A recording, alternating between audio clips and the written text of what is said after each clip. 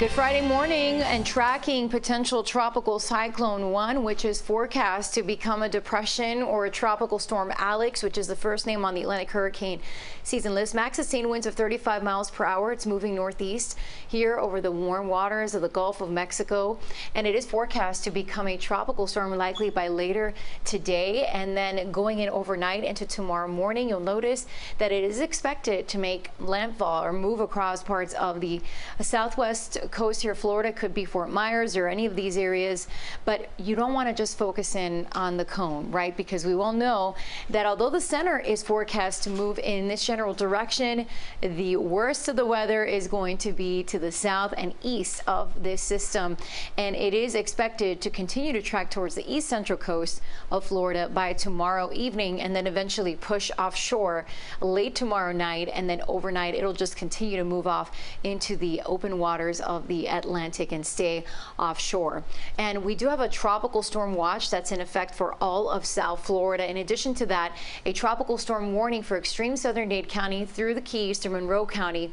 Also, a flood watch is in effect for all of South Florida, and that is through Sunday, as that is going to be the biggest concern with this. All right. Also, winds that are going to be gusting as high as 40 miles per hour, even stronger than that for the Keys. So, tropical storm watch means that that within the next 48 hours, we could see those 40 mile per hour winds, the strongest winds likely occurring overnight tonight into tomorrow. And the strongest gusts will be near the coast, the Keys, inland gusts with some of those storms.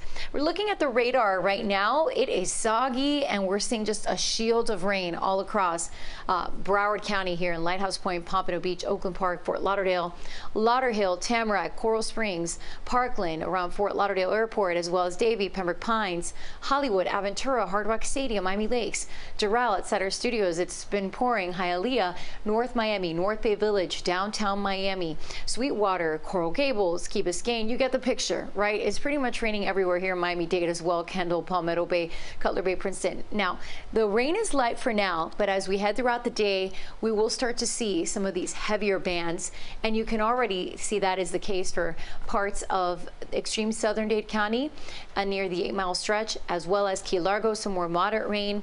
Also, Monroe County is dealing with some soggy conditions right now.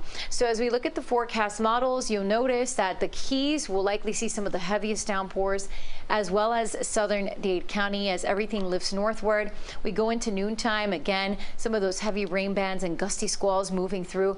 However, I think the worst of the weather will occur likely between 5, 7, 8 p.m. and then another round of some nasty storms overnight and into tomorrow morning as we see that deepest moisture associated with this system move across our area. Lisa, thank you.